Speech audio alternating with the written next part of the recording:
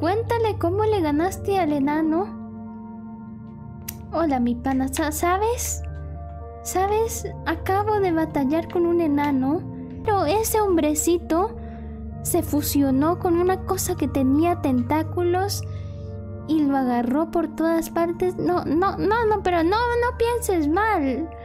Solamente los tentáculos estuvieron por fuera, no, no se le metieron así para arriba, por dentro. No, no, no, no. No, que, que te suena muy familiar a animes que has visto. Chale, pues estás un poco enfermo. que te que te estás poniendo un poco hot. Chale. Ya, ya no te cuento nada mejor. Bye.